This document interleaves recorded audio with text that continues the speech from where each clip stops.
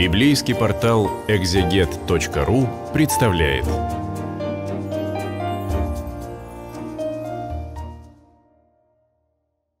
Восемнадцатая глава Евангелия от Матфея. Я читаю свой перевод с некоторыми комментариями. Ну, мы уже договаривались, что Евангелие комментировать можно бесконечно. Можно взять любую главу, хоть вот эту, и по ней пять часов говорить. Это, конечно, нам э, сейчас не нужно делать. И я обращаю скорее внимание о том, почему этот материал вот в таком виде здесь представлен. У Матфея мы не сравниваем сейчас обычно с Лукой или Марком, но все-таки. 18 глава. Вот у нас только что был эпизод про то, как э, захотели заставить Иисуса заплатить подать, да, подать на храм, и он э, и заплатил, и не заплатил, да, он велел Петру пойти поймать рыбу и найти у нее во рту деньги за Петра и за самого себя, то есть э, не нарушается вроде бы установленный порядок вещей, но Иисус и не подчиняется ему. И тут же э, эпизод формально никак не связанный. В то время подошли к Иисусу ученики и спросили, а кто же в Царстве Небес будет самым великим? Иисус подозвал одного ребенка и поставил посреди учеников со словами «Аминь, аминь, говорю вам, если не изменитесь и не станете похожи на детей, то не войдете в Царство Небес. Кто станет маленьким наподобие этого ребенка, тот и будет в Царстве Небес великим. И кто примет такого ребенка во имя Мое, тот принимает Меня». Смотрите, опять он все переворачивает. Конечно, они интересуются, кто великий будет из них. Ну, людям свойственно. Вот Олимпиада, например, или, не знаю, политика. Люди соревнуются, и каждый хочет доказать, что именно он самый лучший, правильный, популярный. У него результаты самые хорошие. А и вдруг он берет человека, у которого заведомо никаких результатов. Ребенок ничего не достиг, да? И оказывается, что не просто он самым великим, ну ладно, мы скажем, э, ребенок, он маленький, мы о нем заботимся, поэтому мы бережем его больше всего, он самый первый, да, вот в любой чрезвычайной ситуации детей надо спасать в первую очередь. А вот кто будет похож на ребенка? И тут бесконечные споры, что это значит, э, какое-то вот э, простое отношение к жизни, принятие, зависимость, да, вот что свойственно детям, чистота нравов, да, когда ребенок, э, в общем, такой добрый обычно по своей природе, хотя всякое бывает, мы знаем это. А мне кажется, здесь нету полной инструкции, как надо стать подобным ребенку. А вот э, сказано, вы пытаетесь построить какую-то, грубо говоря, духовную карьеру. Не строите. Просто живите. И более того, вы не смогли стать ребенком, примите ребенка во имя мое. Идет ли речь о каких-нибудь э, учреждениях, где заботятся о сиротах, там, детских хосписах, безумно уважаю тех, кто этим занимается, и они достойны всяческой поддержки и помощи. Но, может быть, тогда в переносном смысле, вот ты не можешь, ты слишком умный, ты слишком образованный, Тогда принимай того, кто мог, и кто стал этим ребенком. А, ну, дальше и ответственность. А кто соблазнит одного из этих маленьких людей, верующих в меня? Вот маленькие люди, это могут быть и малыши, в смысле детишки, и понятно, что э, взрослым легко их обмануть, сбить с пути, но, может быть, и такие простые люди, которые уподобились детям, вполне взрослые, но простодушные. Кто соблазнит одного из этих маленьких людей, верующих меня, было бы для него лучше, если бы его с мельничным жерновом на шее, ну, то есть с большим камнем, утопили в морской пучине. Беда миру от этих соблазнов. Да, их приход неизбежен, но беда тому, через кого соблазн приходит. Это очень важный принцип.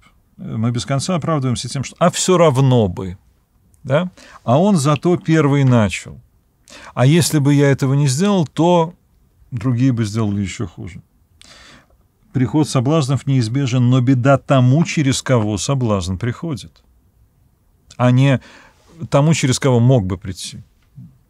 Если твоя рука и нога соблазняют тебя, отсеки ее, отбрось прочь. Лучше тебе стать увечным, но обрести жизнь, чем с целыми руками и ногами быть брошенными в огонь вечный. Если глаз соблазняет тебя, вырви его и отбрось прочь. Лучше тебе быть одноглазым, но обрести жизнь, чем с двумя глазами быть брошенным в гиену огненную. Это, конечно, э, повеление, которого никто из христиан не исполняет.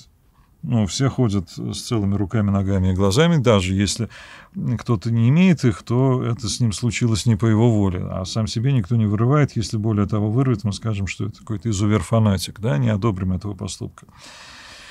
Вот одно из тех евангельских выражений, которое прям невозможно понять и принять буквально.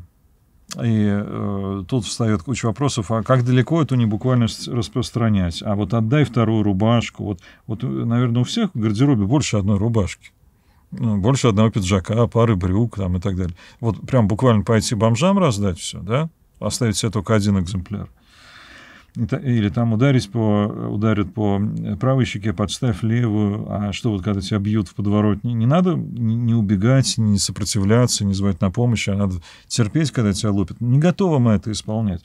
Но мне кажется, э, здесь Иисус нас ставит перед такими выборами, э, может быть, даже для того, чтобы подчеркнуть эту полную нашу неготовность. Вот э, мы хотим быть достаточно хорошими людьми, а он говорит, а вы будете совершенными недостаточно, а совершенными.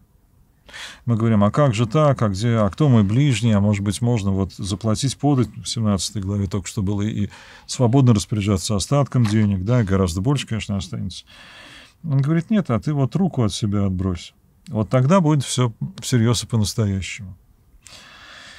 Смотрите, не относитесь ни к одним из этих маленьких людей с презрением. Говорю вам, что их ангелы не отлучаются от Отца Моего Небесного, то есть ангелы-хранители, которые все время предстоят перед Богом.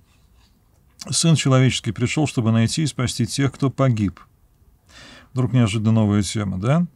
Э, вот эти малые, которых соблазнили, соблазны – ну и что же, вот э, просто Сын Человеческий, то есть сам Иисус Христос, это просто каратель такой, да, который потом будет наказывать за каждое прегрешение. Нет, пришел, чтобы найти и спасти тех, кто погиб. Сами вы как считаете, допустим, есть у кого-то сто овец, одна из них заблудилась. Неужели он не оставит в горах 99, чтобы отправиться на поиски той, что заблудилась? И когда сумеет ее найти, аминь, говорю вам, ей будет рад больше, чем 99, которые не заблудились. Нет на то воли Отца вашего Небесного, чтобы погиб хоть один из этих маленьких людей. И смотрите, вот этот призыв э, «горе тому, кто их соблазнит», его можно понять двояко. Очень строго накажу за любое нарушение. Да? Часто религиозные люди так и мыслят. А можно понять это иначе. Смотрите, зачем пришел Сын Человеческий? Для того, чтобы тех, кто впал в это заблуждение, вывести, вернуть к Отцу. И поэтому плохо тем, кто вводит в заблуждение. Да, вот вроде одно и то же, а какая разная вот мотивация? Либо наказать плохих, либо спасти погибших. Э, ну, да, понятно, но ведь э, соблазн это еще когда кто-то ведет себя плохо. Если твой брат согрешит против тебя, ступай и обличи его наедине с глазу на глаз. Если он прислушается, ты снова обрел брата. Смотрите, обычно у нас ровно наоборот. Человек свой, человеку свойственно всем рассказывать, как плохо кто-то обошелся. Если слушать не станет, возьми с собой одного или двух человек, ведь всякое дело подтверждается словами двух или трех свидетелей. А почему одного или двух? Потому что, э, смотрите, мы бываем несправедливы, мы часто плохо понимаем, мы обижаемся на пустом месте, да? Мы думаем, что нам причинили вред, когда нам хотели помочь. А другой человек — это, ну, какой-то ориентир, он может подсказать, слушай, ну, ты не прав, вот не так было или не так происходит. А, ну, еще лучше двух или трех, да, то есть э, двух или трех свидетелей, потому что тогда и свидетель не субъективен, да, тогда их больше одного. Если их не послушается, скажи всей общине, а если общину слушать не станет, пусть отныне он для себя будет как язычник или сборщик податей. Не сказано «мсти ему», наказывай его, а сказано «он чужой», он э, тот, с кем ты стараешься не общаться.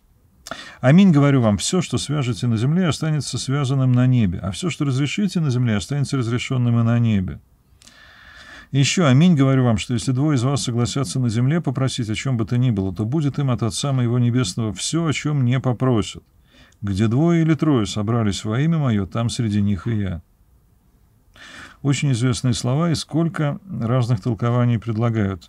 Иногда спорят, а кому это он сказал, все, что свяжете, останется связанным, все, что разрешите, останется разрешенным. Ну, наверное, только священникам, причем не всем, а вот только каким-то епископам, да, потому что это что ж, вот я что-нибудь брякну, а это прям на небе так и останется навсегда, да? Нет, конечно. Но э, тут же двое или трое – где двое или трое, там я посреди них. То есть э, церковь — это событие. Это не институт. Есть институт, который называется церковь, как есть здание, которое называется церковь. Есть там учреждение какое-нибудь, да? Но церковь — это событие, когда двое или трое собираются э, во имя Иисуса просить Отца. И вот тогда они связывают и разрешают. Вот там где-то происходит вместе. Полная параллель э, при, в присутствии двух или трех свидетелей, да, вот то же самое. То есть там, где происходит событие церкви, там э, последствия этого события имеют значение в вечности. Ну, можно, конечно, понять это, связывать, разрешать, как э, что можно там есть или как можно поступать, а как нельзя. Звучит немножко примитивно, но, может быть, и про это тоже. Но смотрите, только что было про отношения, про то, что э, кто-то ищет заблудшую овцу, пастырь, э, кто-то прощает брату, согрешившему против него. То есть э, вот эти вещи скорее переходят в вечность. Вот э, разрыв и восстановление отношений. Тогда подошел к нему Петр и спросил, «Господи, сколько раз мне прощать брата, который согрешил против меня? Семь раз?» Ну, потому что, да, очень удобно. Христиане всегда должны прощать. Есть такой фильм и книга «Молчание» да, японского автора, имя я, к сожалению, забыл. И там вообще очень э, такой тяжелый, но одновременно заставляющий думать фильм. И там есть такой новообращенный христианин э, из Японии, который э, без конца грешит, а потом очень искренне кается и требует, чтобы его прощали. Он делает любые гадости, потом подбегает к тому, кто э, пострадал от этих гадостей, падает на колени и говорит, прости меня. Ты же должен, ты же христианин. И Петр заранее предвидит эту ситуацию. Э, ну, сколько, семь раз? Ну, ну, достаточно, да? Я бы сказал три, наверное, да, потому что после третьего уже должен человек понять, что так нельзя. Лимит должен быть. У кого из нас есть от банка кредитка безлимитная, что можно 100 миллионов потратить, а потом никогда не расплатиться? Нет таких. Иисус ему в ответ, не семь, говорю тебе, а семьдесят раз семикратно. То есть это сколько 70 на 7 умножить, да? 400-900, да? Многовато, я бы сказал, практически безлимит. Вот чему подобно Царство Небес. Некий человек-царь потребовал от слуг денежного отчета. И как только начался подсчет, привели к нему того, чей долг составлял 10 тысяч талантов. Это безумная совершенно сумма э, мириада талантов, 10 тысяч мириада, это 600 э, миллионов динариев. Динарий – серебряная монета. Это, в общем-то, годовой бюджет Римской империи. Больше того, не бывает таких долгов. Да? Это 100 триллионов долларов может быть, э, триллионами долларов изменяют, измеряются долги, не знаю. Ну, какая-то абсолютно бессмысленная огромная цифра, да? Должнику нечем было заплатить, так что господин повелел уплату долга продать рабство его самого вместе с женой и детьми отобрать все имущество, даже близко не покроет затрат. Но тот слуга пал перед царем Ниц со словами «Сжалься надо мной, подожди, я все тебе отдам». Откуда? Царь пожалел того слугу, отпустил его и простил ему долг. А слуга едва вышел от царя, встретил одного из своих товарищей, который был должен ему 100 динариев. Ну, ощутимые деньги, да, это надо работать э, паденщику 100 дней, но э, сумма, которую реально выплатить, да. А тот товарищ пал пред ним и стал умолять, жалься надо мной, подожди, я все тебе отдам. Но слуга не согласился, а взял и бросил товарища в тюрьму до тех пор, пока не уплатит всего долга. Это обычная практика того времени, долговая тюрьма. Эм, соответственно, человек, сидя в тюрьме, естественно, не может заработать, но его родные, близкие, друзья собирают для него сумму и, заплатив, могут его освободить. А другие слуги, увидев это, сильно огорчились, пошли и рассказали своему господину, что произошло. Тогда господин вызвал первого слугу и сказал ему, «Негодный раб, я простил тебе весь долг, стоило тебе лишь попросить. Точно так и тебе следовало просить, простить своего товарища, как я тебя пожалел». И господин в гневе отправил его к палачам до тех пор, пока не уплатят всего долга. Ну, а в жестком сценарии человек не просто сидит в тюрьме, он подвергается побоям, да, вот на Руси тоже недоимку взыскивали, там плетьми пароли на площади, пока человек, там, я не знаю, не, не раскроет свои какие-нибудь уж тайные запасы. Так поступит с вами и Отец мой Небесный, если от всего сердца не простите каждый своего брата. То есть, смотрите, Петр говорит, э, ну сколько же можно? Но без конца же будут этим злоупотреблять. А, а Христос не говорит ему, нет, а и ты давай без конца прощай. А он говорит, смотри, тебе простили э, запредельную для тебя сумму долга. А ты прости существенную, но реальную сумму долга. Вот в чем каждый из нас перед другим провинился, это бывает существенно, но это э, не астрономическое Э, задолженность, а перед Богом у нас у всех астрономическая. То есть опять переворот сознания. Вот эта глава, она все время переворачивает сознание. Вот люди пытаются рассуждать в какой-то земной логике. И, в принципе, неплохо рассуждают. Они ничего ужасного не предлагают, да, они говорят, ну надо же вот ставить какие-то пределы, надо же вот э, быть кому-то главным, надо же вот э, прощать лишь до определенного раза. А э, Иисус говорит, нет, вы в Царстве Божьем, вы уже в нем. Тут совершенно другие законы, другие правила. И э, будет страшно, если вы его утратите. Вот вы должны жить по-другому. И это вызов. И это непонятно как. И это хочется переделать, сказать, нет, ну все-таки, да, конечно, таких толкований было довольно много в истории. Но э, по-прежнему эти слова остаются такой занозой для совести. И, наверное, в этом и главная роль и задача.